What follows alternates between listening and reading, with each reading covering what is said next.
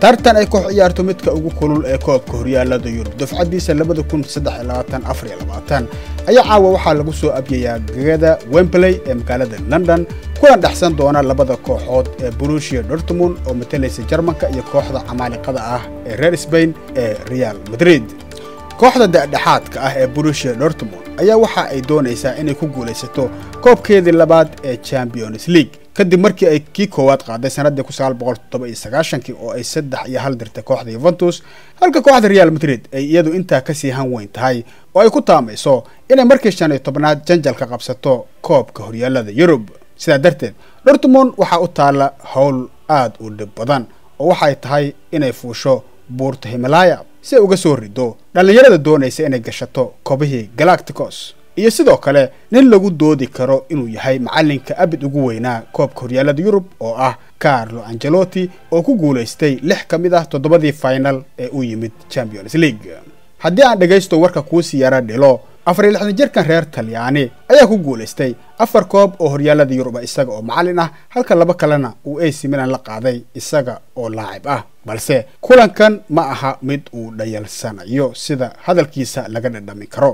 marka hore waxaad ku farxaysaa in aad finalka soo gaarto. Kadibna walaac iyo cabsi ayaa kuu iman doona ayuu yidhi macallinkan rugcadaaga ah. Si kastaba cududa iyo taariikhda ay kooxda los blancos ku leedahay koobkan horyaalada yurub ama champions league oo lagu biiriyey inay haysato qaar ka mid a xidigaha ugu wanaagsan kubadda cagta caalamka ee xilligan ayaa waxay ka dhigaysaa kooxda ugu cadcad inay caawa koobka kala dheelmato gegada wembley yeelkeeda in la wajaho dortmund kama dhigna sidii in cajiin tin laga saarayo. Sababtuna waxay tahay kooxdan oo aan ka xishoonin inay disho camaaliqooyinka qaaradda yurub. Sida ay imikaba samaysay intii ay ku joogtay jidka ay ku timid magaalada london. Waayo waxa ay ka soo badbaaday kana soo fuucday gruubkii dhimashada oo ay kula jiraan kooxaha newcastle united iyo labada camaaliqo ee faransiiska iyo talyaaniga ee bakhi san germain iyo ac milan. Dhanka kale kooxda real madrid oo champions league hanatay laba fasal ciyaareed ka hor ayaa kaalinta koowaad kaga soo baxday gruubkeeda iyada oo shaqaysatay siddeed iyo toban dhibcood. Islamarkaana garaacday horyaalada talyaaniga ee s c napoli oo ay kaalinta labaad ku riixday. Halka sporting braga iyo union berlin ay halkaa ku hareen. Haddii aanu yaro eegno kulamada kooxahan ee koobka horyaalada yurub waxa ay markii ugu horreysay foolka isku diireen nusdhammaadkii kun sagaal boqol sagaashan iyo toddoba sagaashan iyo siddeed taasoo ka dhigan in ilaa imika brusia iyo real ay kulmeen afar iyo toban jeer waxaana faska xigta oo rikoorkeedu wanaagsan yahay camaaliqada reer sbain xaqiiqatan real madrid waxa ay badisay lix jeer marka loo eego saddex jeer oo ay dhibixi qaadatay kooxda dortmund. Balse guushii ugu dambeysay ee los blancos ay ka gaartay kooxdan labadii kun iyo saddex tobankii kaalinta labaad ka gashay champions league waxa ay dhacday lix sannadood iyo bar ka hor waana labadii kun iyo siddeed iyo tobankii.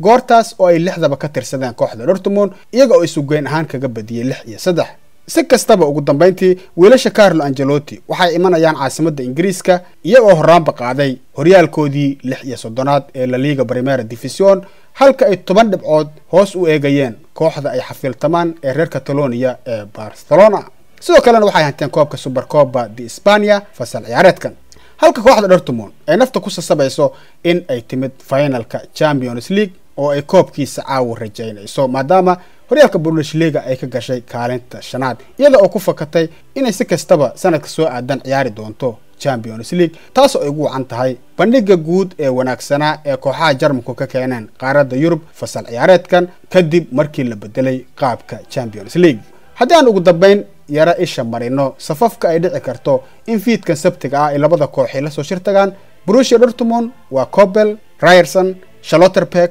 humels matsen sabitzer chan sancho brandit adayemi iyo fulkrag. Halka real madrid ay soo safi karto kukhtua carfakhal nacho rodiger mendy valverde camavinga cruz bellingham venicius junior iyo rodrigo. Maxamed xaaji hadalsama t v